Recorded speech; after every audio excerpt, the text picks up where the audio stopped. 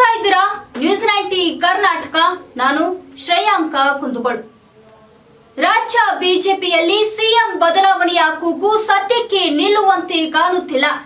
ನಿತ್ಯ ಬೆಳಕಾದ್ರೆ ಮತ್ತದೇ ಕತೆ, ಮತ್ತದೇ ವ್ಯತೆ ಈ ಮುಗಿಯದ ಗೊಂದಲದಿಂದ ರಾಜ್ಯದ ಜನತೆ ರೋಸಿ ಹೋಗಿದ್ದು, ವಾಸ್ತವ ಅರಿತುಕೊಂಡ್ರೆ ಮಾತ್ರ ರಾಜ್ಯದಲ್ಲಿ ಸುಭದ್ರ ಭವಿಷ್ಯ ನಿರ್ಮಾಣ ಸಾಧ್ಯ. ಈ ಕುರಿತ ಇನ್ಸೈಡ್ ಸ್ಟೋರಿ ಇಲ್ಲಿದೆ ನೋಡಿ. ಹೌದು. ದ್ಯೂತದಲ್ಲಿ ಸೋತು ಅಪಮಾನಕ್ಕೆ ತುತ್ತಾದ ಬಳಿಕ ಅನುದ್ಯೂತಕ್ಕೆ ಒಡ್ಡಿಕೊಳ್ಳುವುದೆಂದರೆ ಏನರ್ಥ? ಹಾಗೆಯೇ ಆಗುತ್ತಿದೆ ರಾಜ್ಯ ಬಿಜೆಪಿಯ ಕತೆ. ಮಾಡಿದ ತಪ್ಪನ್ನೇ ಮತ್ತೆ ಮತ್ತೆ ಮಾಡುವುದು ರಾಜ್ಯ ಬಿಜೆಪಿಯ ಚಾಳಿ. ಅದಕ್ಕಾಗಿ ಇಲ್ಲಿ ವಾಚಾಳಿಗಳ ಹಾವಳಿ ಜಾಸ್ತಿ. ಅಲ್ಲದಿದ್ದರೆ ಸಮರ್ಥ ನಾಯಕತ್ವದ ಸಾರಥ್ಯದ ಸುಭದ್ರ ಸರ್ಕಾರವನ್ನು ಅಭದ್ರಗೊಳಿಸುವ ಕಸರತ್ತು ನಡೆಸುವ ಪ್ರಮೇಯ ಬರುತ್ತಿರಲಿಲ್ಲ. ನಾಯಕತ್ವ ಬದಲಾವಣೆಯ ಕೂಗು ಸದಾ ಚಾಲ್ತಿಯಲ್ಲಿ ಇರುತ್ತಿರಲಿಲ್ಲ. ಅಡಿಗಡಿಗೆ ದಿಲ್ಲಿ ಯಾತ್ರೆಯ ಪ್ರಶ್ನೆ ಉದ್ಭವಿಸುತ್ತಿರಲಿಲ್ಲ. ಆದರೆ ಅಧಿಕಾರಕ್ಕೆ ಬಂದಾಗ ನಾಯಕತ್ವದ ಗೊಂದಲ ಜಾರಿಯಲ್ಲಿಡುವುದು ರಾಜ್ಯ ಬಿಜೆಪಿಯ ಹಳೆಯ ಕಾಯಿಲೆ. ಅದಕ್ಕೆ ಇತಿಶ್ರೀ ಹಾಡುವುದು ಪಕ್ಷದ ವರಿಷ್ಠರಿಗೂ ಬೇಕಾಗಿಲ್ಲ. ಹಿಂದೊಮ್ಮೆ ರಾಜ್ಯದಲ್ಲಿ ಅಧಿಕಾರದಲ್ಲಿದ್ದಾಗ ಜಗಳ ಕಾಯ್ದದ್ದರ ದುಷ್ಫಲವನ್ನ ಬಿಜೆಪಿ ಉಂಡಿತ್ತು. ನಂತರ ಪ್ರಾಯಶ್ಚಿತ ಮಾಡಿಕೊಂಡಿದ್ದರಿಂದ ಜನರು ಪಕ್ಷವನ್ನ ಪುನಃ ಅಧಿಕಾರದ ಬಾಗಿಲಿಗೆ ತಂದು ನಿಲ್ಲಿಸಿದರು. ಆದರೆ ಬಿಜೆಪಿಗರ ಲಕ್ಷ್ಯವೇ ಬೇರೆಯಾಗುತ್ತಿದೆ.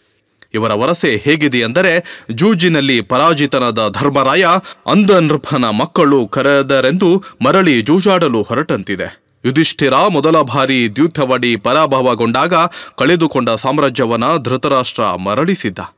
ಎರಡನೇ ಬಾರಿ ಜೋಜಾಡಿ ಸೋಲುಂಡ ಧರ್ಮರಾಜ ಮತ್ತು ಆತನ ಸಹೋದರರಿಗೆ ವನವಾಸವೇ ಗತಿಯಾಗಿತ್ತಲ್ಲ?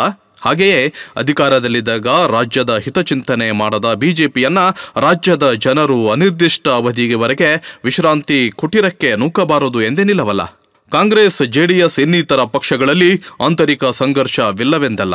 ಆದರೆ ಅಧಿಕಾರ ಸಿಕ್ಕ ಕೂಡಲೇ ಶರಂಪರ ಜಗಳವಾಡುವುದು ರಾಜ್ಯ ಬಿಜೆಪಿಯ ಅತಿ ವಿಶಿಷ್ಟ ಅರ್ಹತೆ. ಇಲ್ಲಿ ಒಂದೇ ಅವಧಿಯಲ್ಲಿ ಹಲವರಿಗೆ ಮುಖ್ಯಮಂತ್ರಿಯಾಗುವ ವಾಂಛೆ.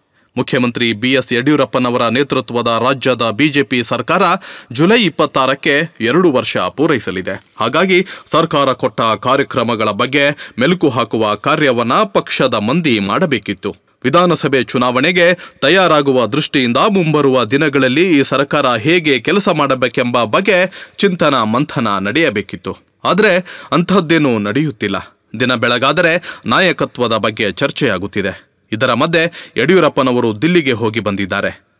ಬಿಎಸ್ವೈ ಅವರ ದಿಲ್ಲಿ ಪ್ರವಾಸದ ಬಗ್ಗೆ ನಾನಾ ವ್ಯಾಖ್ಯಾನ ಸಹಜ. ಇದರ ಅರ್ಥ, ರಾಜ್ಯ ಬಿಜೆಪಿಯ ಗೊಂದಲಕ್ಕೆ ತೆರೆ ಬಿದ್ದಿಲ್ಲ. ಯಡಿಯೂರಪ್ಪ ಅವರಂತಹ ಪ್ರಬಲ ಪ್ರಾದೇಶಿಕ ನಾಯಕರ ವಿಚಾರದಲ್ಲಿ ಆತುರಕ್ಕೆ ಬೀಳಲು ವರಿಷ್ಠರು ಸಿದ್ಧರಿಲ್ಲ. ಅದೇ ಕಾಲಕ್ಕೆ ಆಡಳಿತ ನಡೆಸಲು ಯಡಿಯೂರಪ್ಪ ಅವರಿಗೆ ಸ್ವಾತಂತ್ರ್ಯ ನೀಡಲೂ ತಯಾರಿಲ್ಲ. ನಾಯಕತ್ವದ ವಿರುದ್ಧ ಹೇಳಿಕೆ ನೀಡಿದವರ ಬಾಯಿಗೆ ಬೀಗ ಹಾಕಿಲ್ಲ. ಬದಲಾಗಿ ಅಂಥವರಿಗೆ ಒಳಗಿಂದೊಳಗೆ ಪ್ರಲೋಭನೆ ನೀಡುತ್ತಿರುವ ಆಪಾದನೆ ಇದೆ. ಕಳೆದೊಂದು ವರ್ಷದಿಂದ ಇದೇ ಹಗ್ಗಜಗಾಟ ನಡೆಯುತ್ತಿದೆ. ಇದು ರಾಜ್ಯದ ಜನತೆಗೆ ಉತ್ತರದಾಯಿಯಾಗಬೇಕಾದ ಸ್ಥಾನದಲ್ಲಿ ಕುಳಿತವರ ತಲೆಯ ಮೇಲೆ ತೂಗುಗತ್ತಿ ಇಳಿಬಿಟ್ಟು ಮಜಾ ತೆಗೆದುಕೊಳ್ಳುತ್ತಿರುವ ಹೈಕಮಾಂಡ್ನ ಕಾರ್ಯಶೈಲಿಯ ಪರಿ. ಬಿಜೆಪಿ ವರಿಷ್ಠರಿಗಿದು ಪಕ್ಷದ ರಾಜ್ಯ ಘಟಕಗಳನ್ನು ಮತ್ತು ಅಲ್ಲಿನ ನಾಯಕರನ್ನ ಅಂಕೆಯಲ್ಲಿಟ್ಟುಕೊಳ್ಳುವ ಸ್ಟ್ರಾಟರ್ಜಿ ಆಗಿರಬಹುದು. ಜನರಿಂದ ಬೆಳೆದು ಬಂದವರನ್ನ ತೆರೆಯ ಮರೆಗೆ ಸರಿಸಿ ಜಿ ಹುಜೂರ್ಗಳನ್ನ ಅಕ್ಕಪಕ್ಕದಲ್ಲಿಟ್ಟುಕೊಳ್ಳುವ ಕಾರ್ಯತಂತ್ರವೂ ಆಗಿರಬಹುದು. ಆದರೆ ಕೃತಕವಾಗಿ ಸೃಷ್ಟಿಸುತ್ತಿರುವ ಈ ಬಗೆಯ ಅಸ್ಥಿರತೆಯಿಂದ ನಗೆಪಾಟಲಿಗೆ ಈಡಾಗುವುದು ಕರ್ನಾಟಕ. ರಾಜ್ಯದ ಸ್ವಾಭಿಮಾನಕ್ಕೆ ಧಕ್ಕೆಯಾಗುವುದರ ಜೊತೆಗೆ ಅಭಿವೃದ್ಧಿಯು ಕುಂಠಿತಗೊಳ್ಳಲಿದೆ. ಈ ಸಂಗತಿ ಬಿಜೆಪಿಗೆ ಅರ್ಥವಾದರೆ ಒಳ್ಳೆಯದು. ಇನ್ನು ಕಾಂಗ್ರೆಸ್ ಹೈಕಮಾಂಡ್ನ ಅನಿವಾರ್ಯತೆ ಹಾಗೂ ಮಾಜಿ ಪ್ರಧಾನಿ ಎಚ್ ಡಿ ದೇವೇಗೌಡರ ಸಹಮತದ ಮೇರೆಗೆ ಕಳೆದ ವಿಧಾನಸಭಾ ಚುನಾವಣೆ ಬಳಿಕ ಮೈತ್ರಿ ಸರ್ಕಾರ ರಚನೆಯಾಯಿತು. ಎಚ್ ಡಿ ಕುಮಾರಸ್ವಾಮಿ ಅವರಿಗೆ ಇದು ಇಷ್ಟದ ಬಂಧವೇನೂ ಆಗಿರಲಿಲ್ಲ. ಯಾಕೆಂದರೆ ಕಾಂಗ್ರೆಸ್ನಿಂದ ಆಯ್ಕೆಯಾದ ಬಹುಪಾಲು ಶಾಸಕರು ಸಿದ್ದರಾಮಯ್ಯನವರ ಬೆಂಬಲಿಗರಾಗಿದ್ರು. ಇದರಿಂದ ತಾವು ಎಂತಹ ಬೇನೆ ಅನುಭವಿಸಬೇಕಾಗಿ ಬರಬಹುದು ಎಂಬ ಸುಳಿವು ಕುಮಾರಸ್ವಾಮಿ ಅವರಿಗೆ ಸಿಕ್ಕಿತ್ತು ಎನಿಸುತ್ತದೆ. ಜತೆಗೆ ಮೈತ್ರಿ ರಾಜಕಾರಣದಲ್ಲಿ ಕಾಂಗ್ರೆಸ್ಗಿಂತಲೂ ಬಿಜೆಪಿಯೊಂದಿಗೆ ಏಗುವುದು ಸುಲಭ ಎಂಬ ಅನುಭವ ಕುಮಾರಸ್ವಾಮಿ ಅವರದಾಗಿತ್ತು ಆದರೆ ಚಿನ್ನದ ದಂಡಿಗೆ ಏರಿ ಮನೆ ಬಾಗಿಲಿಗೆ ಬಂದ ರಾಜ್ಯ ಲಕ್ಷ್ಮಿಯನ್ನ ನಿರಾಕರಿಸುವುದು ವಿಹಿತವಲ್ಲ. ಹಾಗಾಗಿ ಕುಮಾರಸ್ವಾಮಿಯವರು ಮುಖ್ಯಮಂತ್ರಿಯಾಗಿ ಸಮ್ಮಿಶ್ರ ಸರ್ಕಾರದ ಹೊಣೆ ಹೊತ್ತರು. ಬಹುಶಃ ಕುಮಾರಸ್ವಾಮಿಯವರು ಒಂದು ದಿನವೂ ನೆಮ್ಮದಿಯಿಂದ ಆಡಳಿತ ನಡೆಸಿರಲಿಕ್ಕಿಲ್ಲ.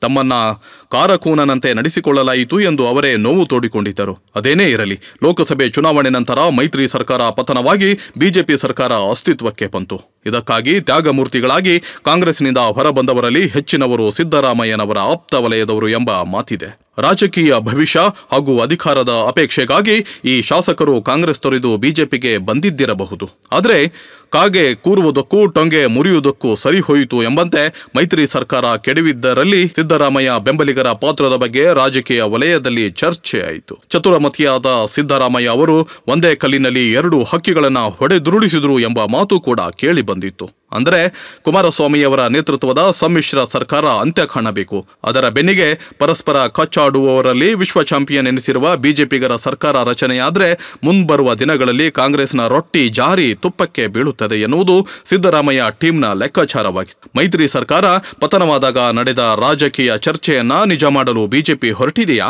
ಎಂಬ ಬಲವಾದ ಗುಮಾನಿ ಈಗ ಶುರುವಾಗಿದೆ. ಹಾಗಾಗಿ ಚುನಾವಣೆಗೆ ಮೊದಲೇ ಕಾಂಗ್ರೆಸ್ನಲ್ಲಿ ವಿಜಯೋತ್ಸವದ ವಾತಾವರಣ ನಿರ್ಮಾಣವಾದರೆ ಅಚ್ಚರಿಯಿಲ್ಲ. ಎರಡು ಸಾವಿರದ ಎಂಟು, ಎರಡು ಸಾವಿರದ ಹದಿಮೂರರ ಅವಧಿಯ ಬಿಜೆಪಿ ಸರ್ಕಾರದಲ್ಲಿ ಉತ್ತಮ ಕೆಲಸಗಳು ಆಗಿರಲಿಲ್ಲವೆಂದಲ್ಲ. ಆಗಲೂ ಮೂರು ವರ್ಷದ ತಮ್ಮ ಆಡಳಿತಾವಧಿಯಲ್ಲಿ ಯಡಿಯೂರಪ್ಪ ಅವರು ಅನೇಕ ಜನಪರ ಯೋಜನೆ ಜಾರಿಗೊಳಿಸಿದ್ರು. ಆದರೆ ಪರಸ್ಪರ ಕಾಲೆಳೆಯುವ ಬಿಜೆಪಿಗರ ಪ್ರವೃತ್ತಿಯಿಂದ ಬಿಎಸ್ವೈ ಅಧಿಕಾರ ಕಳೆದುಕೊಂಡಿದ್ದರು. ಆಂತರಿಕ ಕಚ್ಚಾಟದಲ್ಲಿ ನಲುಗಿದ ಬಿಜೆಪಿ ನಂತರ ನಲವತ್ತು ಸ್ಥಾನಕ್ಕೆ ಕುಸಿದಿತ್ತು. ಮಧ್ಯಪ್ರದೇಶ, ಗುಜರಾತ್, ಇನ್ನಿತರ ರಾಜ್ಯಗಳಲ್ಲಿ ಹ್ಯಾಟ್ರಿಕ್ ಸಾಧನೆ ಮಾಡುವ ಬಿಜೆಪಿಗೆ ಕರ್ನಾಟಕ ಮಾತ್ರ ಹಿಡಿತಕ್ಕೆ ಸಿಕ್ಕುತ್ತಿಲ್ಲ. ಇದಕ್ಕೆ ಮುಖ್ಯ ಕಾರಣ ಇಲ್ಲಿನ ಕೆಲವರು ಸೂರ್ಯನಾಥ ಮುಖ ಮಾಡಿಕೊಂಡು ಉಗುಳುವುದನ್ನು ರೂಢಿಸಿಕೊಂಡಿರುವುದು.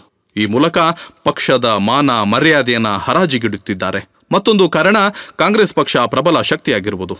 ಇದಕ್ಕೆಲ್ಲಕ್ಕಿಂತ ಮಿಗಿಲಾಗಿ ಕರ್ನಾಟಕದಲ್ಲಿ ಪಕ್ಷದ ನೆಲೆ ಹೇಗೆ ವಿಸ್ತರಣೆಯಾಗಿದೆ ಎನ್ನುವುದನ್ನು ಮಹಾಬಲಿಷ್ಠ ಹೈಕಮಾಂಡ್ ಅರ್ಥ ಮಾಡಿಕೊಳ್ಳದಿರುವುದು. ಅಥವಾ ಈ ಗುಟ್ಟು ತಿಳಿದಿದ್ದರೂ ಜಾನಕುರುಡು ಪ್ರದರ್ಶಿಸುತ್ತಿರುವುದು.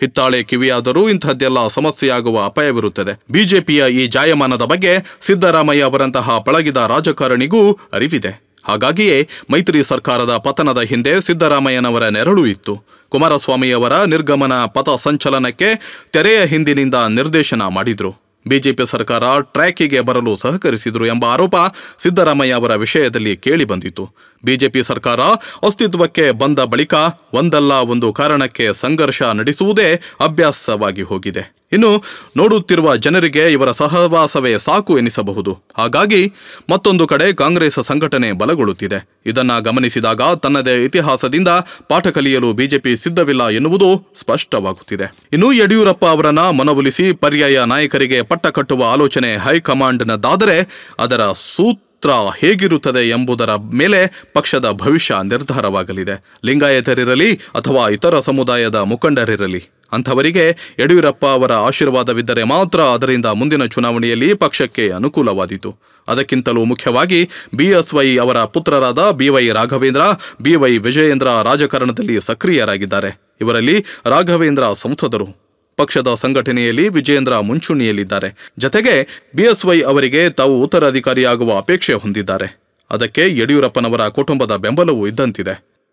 ಅದಕ್ಕಿಂತ ಮುಖ್ಯವಾಗಿ ವಿಜಯೇಂದ್ರ ಅವರಿಗೆ ಜನಬೆಂಬಲ ವ್ಯಕ್ತವಾಗುತ್ತಿದೆ. ಜನಾಕರ್ಷಣೆಯ ಗುಣ ಅವರಲ್ಲಿದೆ ಎಂಬ ಮಾತು ಬಿಜೆಪಿ ವಲಯದಲ್ಲೇ ಕೇಳಿ ಬರುತ್ತಿದೆ. ಹಾಗಿರುವಾಗ ಕುಟುಂಬ ರಾಜಕಾರಣವೆಂದು ಈ ಸಂಗತಿಯನ್ನ ಪಕ್ಕಕ್ಕೆ ಸರಿಸಲು ಸಾಧ್ಯವಾಗದು. ಯಡಿಯೂರಪ್ಪ ಅವರು ಮುಂದಿನ ನಿರ್ಧಾರ ತೆಗೆದುಕೊಳ್ಳುವಾಗ ವಿಜಯೇಂದ್ರ ರಾಜಕೀಯ ಭವಿಷ್ಯದ ಬಗ್ಗೆಯೂ ಆಲೋಚನೆ ಮಾಡಬಹುದು. ಅದರಿಂದ ಪಕ್ಷದ ಸಂಘಟನೆಯಾಗುವುದಾದರೆ ವರಿಷ್ಠರು ಕೂಡ ಸೂತ್ರ ರಚನೆಗೆ ಸಿದ್ಧರಾಗಬೇಕಾಗಿ ಬರಬಹುದು. ಇಂತಹ ಸೂಕ್ಷ್ಮ ಸಂಗತಿಗಳಿಗೆ ಪರಿಹಾರ ಕಂಡುಕೊಂಡ ಬಳಿಕವೇ ರಾಜ್ಯ ಬಿಜೆಪಿಯಲ್ಲಿ ಭವಿಷ್ಯದ ಬಗ್ಗೆ ಭರವಸೆ ಕಾಣಬಹುದು. ಈ ಅವಧಿ ಪೂರ್ತಿ ಬಿಎಸ್ವೈ ಅವರನ್ನ ಮುಂದುವರಿಸುವ ಬಗ್ಗೆ ಹೈಕಮಾಂಡ್ ತೀರ್ಮಾನ ಪ್ರಕಟಿಸಿದರೂ ರಾಜ್ಯ ಬಿಜೆಪಿ ಹಳಿಗೆ ಬರಬಹುದು. ಇಲ್ಲದಿದ್ದರೆ ಕೆಡ್ಡಕ್ಕೆ ಬೀಳುವುದು ತಪ್ಪಿಸುವುದು ಕಷ್ಟ. Bureau report, news ninety, Karnataka.